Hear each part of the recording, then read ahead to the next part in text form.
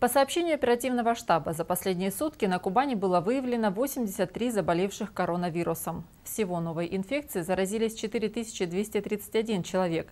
Из них 3109 пациентов выписаны с выздоровлением. В обсерваторах находится 3588 человека.